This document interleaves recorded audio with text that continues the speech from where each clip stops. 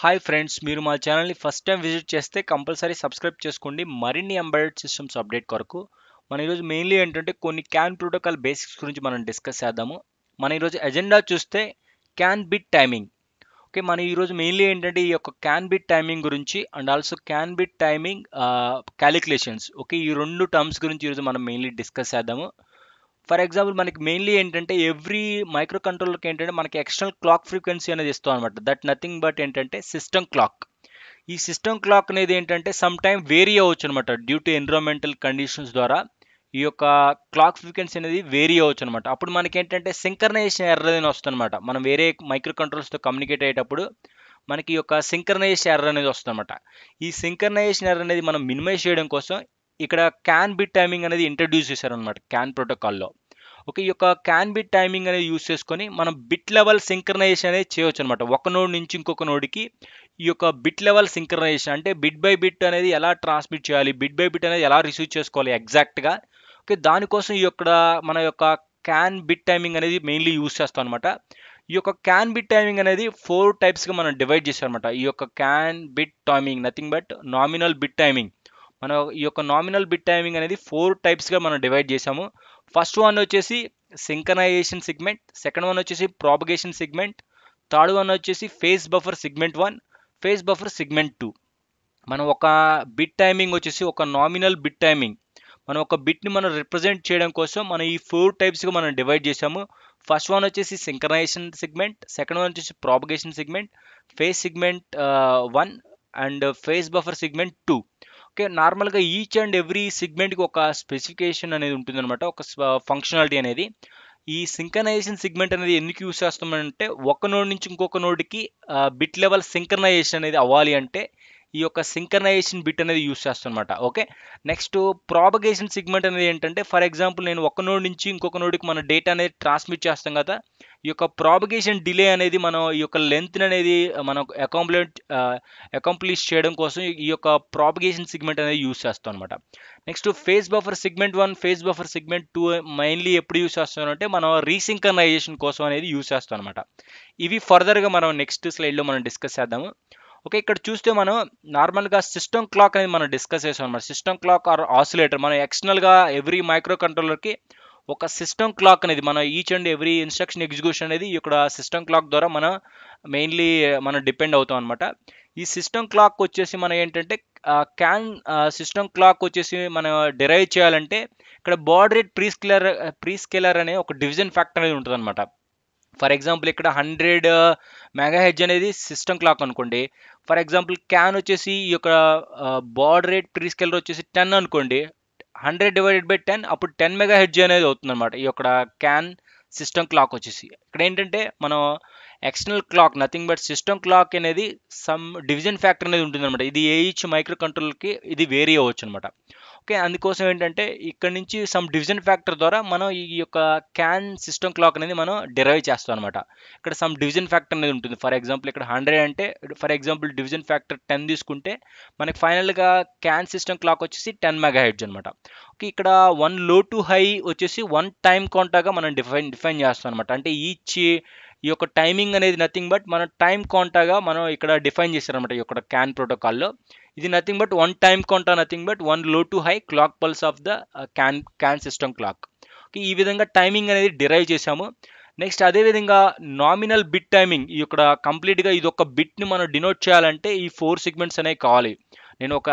Bit అనేది ఎగ్జాక్ట్గా transmit చేయాలి ఆర్ ఎగ్జాక్ట్గా రిసీవ్ చేసుకోవాలంటే బిట్వీన్ ద కంట్రోలర్స్ ఆల్వేస్ మనం ఈ ఫోర్ సెగ్మెంట్స్ అనేది మనం యూస్ యూస్ చేయాలన్నమాట.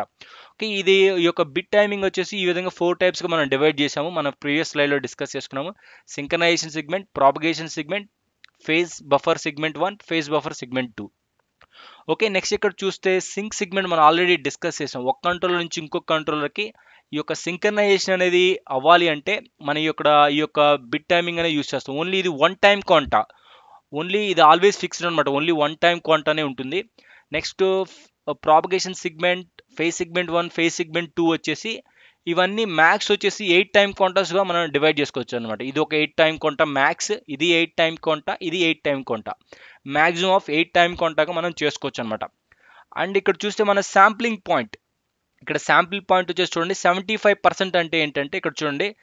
నార్మల్గా ఎయిట్ టైం కాంటెస్ట్ అనేది నేను నామినల్ బిట్గా నేను ఫర్ ఎగ్జాంపుల్ నేను ఈ విధంగా డినోట్ చేశాను అనుకోండి. ఇక్కడ చూస్తే లెఫ్ట్ సైడ్ వచ్చేసి six time quanta right side వచ్చేసి టూ టైం కాంటెస్ట్ టోటల్గా ఎయిట్ టైం కాంటెస్ట్ ఇక్కడ for example two time quanta nothing but twenty five percent అనుకోండి అదేవిధంగా ఇక్కడ చూడండి six time quanta seventy five percent okay ఈ విధంగా ఈ యొక్క శాంప్లింగ్ పాయింట్ అనేది ఇక్కడ డినోట్ చేస్తాము.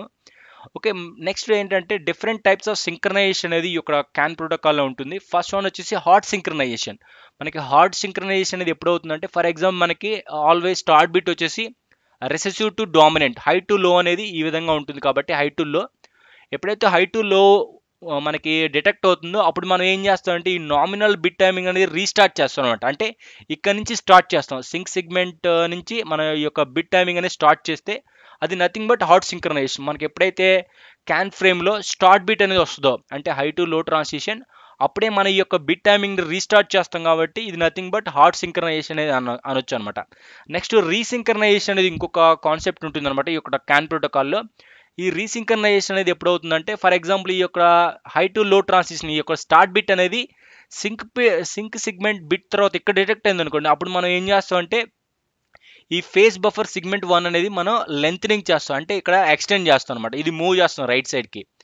and similar way for example మనకి ఈ యొక్క హై టు లో ట్రాన్సిషన్ అనేది స్టార్ట్ బిట్ ట్రాన్సిషన్ అనేది బిఫోర్ అయింది అనుకోండి ఇప్పుడు మనం ఇది ఏం చేస్తాం? ఫేస్ సిగ్మెంట్ టూ అనేది షార్టనింగ్ చేస్తాం.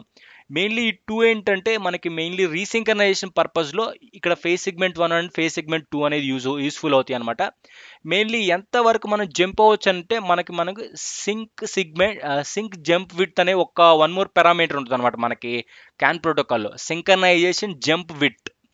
ఎస్జేడబ్ల్యూ అని వన్ ఆఫ్ ద పారామీటర్ ఉంటుంది అనమాట ఇది ఎంతవరకు షిఫ్ట్ అవ్వచ్చు? Left side or right side okay mainly ఈ ఎస్జేడబ్ల్యూ మీద డిపెండ్ అయి ఉంటుంది అనమాట synchronization jump segment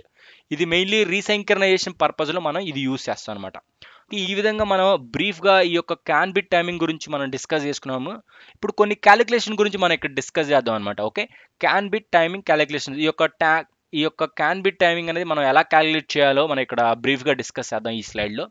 calculate required time counter to achieve 500 kbps baud rate. Rate if system clock 40 megahertz and uh, uh, can clock divider is 4 మనం already system క్లాక్ని ఏం చేయాలంటే some divider చేస్తే అప్పుడు మనకి క్యాన్ క్లాక్ అనేది వస్తుంది అనమాట మనం ఆల్రెడీ డిస్కస్ చేసాం. సేమ్ స్లైడ్ అనమాట మనకి ఎర్లియర్గా మనం చూసాము. ఇది ఇక్కడ చూస్తే system clock nothing nothing but forty mega hertz ఇక్కడ మనకి baud rate prescaler nothing but clock divider ఎంత ఉందంటే ఫోర్ ఫార్టీ బై ఫోర్ వచ్చేసి మనకి క్యాన్ సిస్టమ్ క్లాక్ ఫ్రీక్వెన్సీ వచ్చేసి టెన్ మెగా హెడ్జ్ అనమాట ఇక్కడ చూస్తే చూడండి. CAN clock frequency nothing but forty nothing but system clock divided by four baud rate prescaler prescaler then we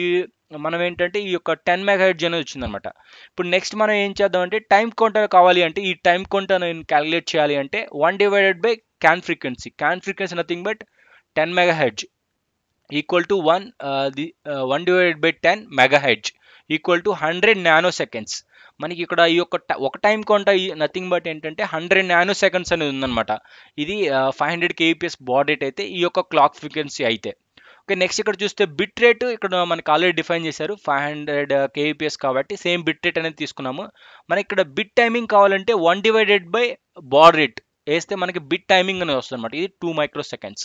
మనకి నెంబర్ ఆఫ్ టైం కౌంటర్స్ ఇక్కడ nominal bit టైమింగ్లో ఎన్ని time కౌంటర్స్గా మనం డివైడ్ చేసాం ఎర్లియర్గా మనం చూసాం. ఎయిట్ టైం కౌంటర్స్గా మనం డివైడ్ చేసాం. అదేవిధంగా ఇక్కడ చూస్తే నెంబర్ ఆఫ్ టైం కౌంటర్స్ని క్యాలిక్యులేట్ చేయాలంటే ఈ యొక్క ఫ్రీక్వెన్సీకి అండ్ విత్ ఈ బార్డర్ రేట్కి ఇక్కడ చూస్తే two microseconds nothing but bit timing bit timing divided by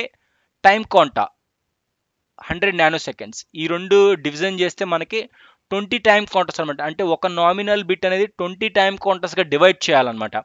okay ఈ ట్వంటీ టైం కౌంటర్స్గా మనం ఎర్లియర్ మనం చూసాం. ఇది ఇక్కడ ఎయిట్ టైం కౌంటర్స్గానే మనం ఇక్కడ డివైడ్ చేసాం. ఇప్పుడు మనం ఏంటంటే యాజ్ పర్ మనకి ఈ క్యాలిక్యులేషన్స్ ప్రకారం మనకి మెయిన్లీ ఎంత వచ్చిందంటే ట్వంటీ టైం కౌంటర్స్ వచ్చిందనమాట ట్వంటీ టైం కౌంటర్స్గా మనం ఈ విధంగా డివైడ్ చేసుకోవచ్చు అనమాట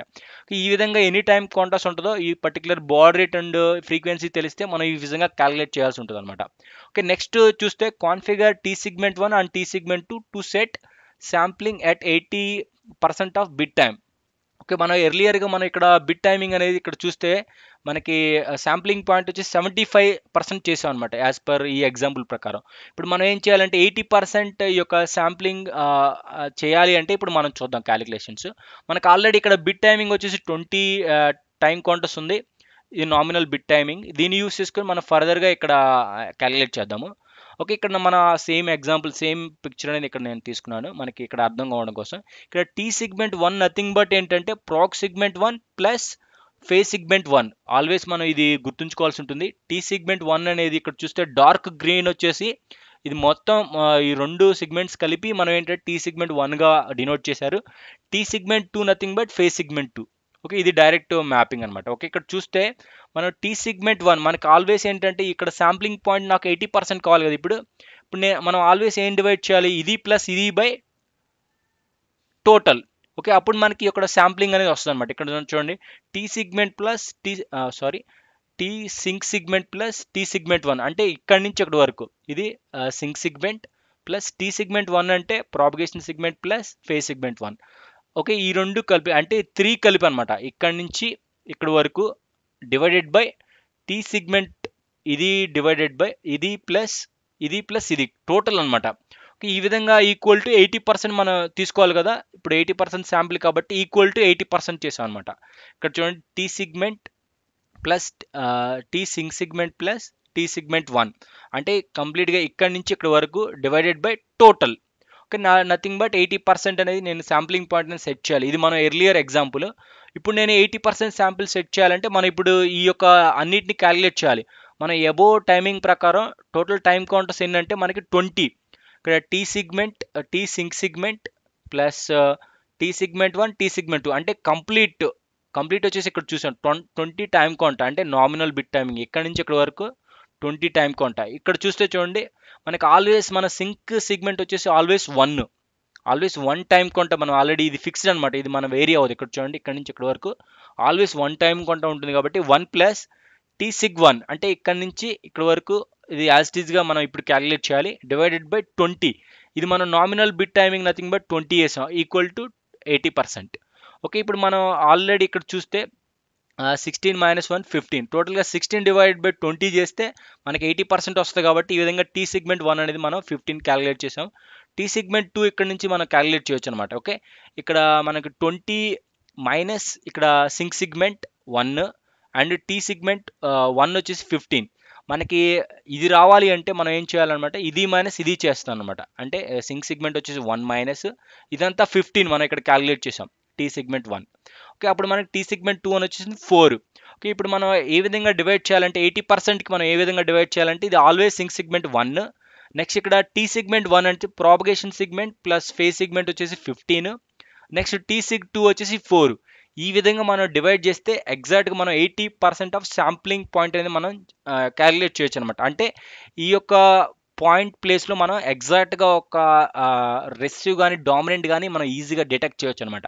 ఈ విధంగా మనం బిట్ క్యాలిక్యులేషన్ అనేది డిస్కస్ చేసాం అండ్ అండ్ ఆల్సో మనం ఏంటంటే ఈ యొక్క నామినల్ బిట్ టైమింగ్ గురించి మనం ఈరోజు మనం మెయిన్లీ డిస్కస్ చేసాం అనమాట ఇది మెయిన్లీ ఏంటంటే మనం బిట్ లెవెల్ సింకర్నైజేషన్. మనం ఎగ్జాక్ట్గా మనం ఒక నోడ్ నుంచి ఇంకొక నోడ్కి డేటా అనేది ఎక్స్చేంజ్ చేయాలంటే ఈ యొక్క నామినల్ బిట్ టైమింగ్ అనేది చాలా ఇంపార్టెంట్ ఇది మనం నామినల్ బిట్ టైమింగ్ కరెంట్ కరెక్ట్గా మనం సెట్ చేయకపోతే ఏంటంటే పర్టికులర్ కంట్రోలర్లో మనం కరెక్ట్గా సెట్ చేయలేదు వేరే కంట్రోల్లో కరెక్ట్గా సెట్ చేసాం అప్పుడు మనకి ఏంటంటే ఈ యొక్క ఎర్రర్ ఫ్రేమ్స్ అనేవి డిటెక్ట్ అవ్వచ్చు అనమాట ఈ యొక్క క్యాన్ నెట్వర్క్లో అందుకోసమే ఈ యొక్క క్యాన్ బిట్ టైమింగ్ అనేది ఎగ్జాక్ట్గా ఆల్ ద నెట్వర్క్స్లో మనం యాజ్ టీజ్గా మనం కాన్ఫిగర్ చేస్తే అప్పుడు మనం ఎగ్జాక్ట్గా డేటా అనేది ఎక్స్చేంజ్ చేయొచ్చు అనమాట ఈ యొక్క క్యాన్ ప్రోటోకాల్లో that's it friends thank you thank you for watching